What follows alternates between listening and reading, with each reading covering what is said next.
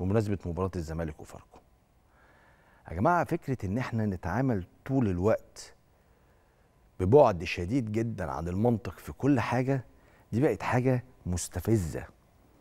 والحاجة السهلة بقينا نصعبها والحاجة البسيطة المنطقية بنخليها عجيبة وغريبة.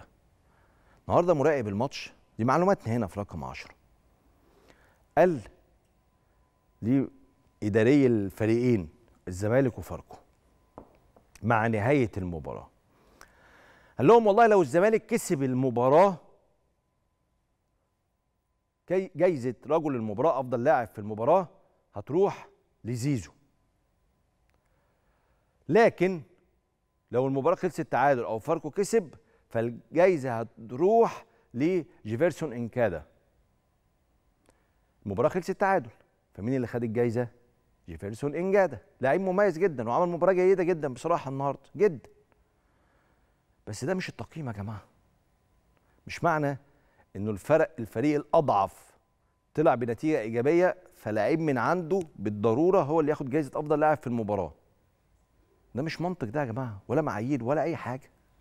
ولا أي حاجة. طيب. كريم أنت عايز زيزو هو اللي ياخد الجايزة يعني؟ لا أنا مش عايز زيزو اللي ياخد الجايزة. أنا عايز لما تيجي تختار أفضل لاعب يبقى بمعايير بأرقام بتفاصيل في المباراة. مش بالحب كده مش باللذاذة مش بال بالفهلوة وال واللي بأي حاجة.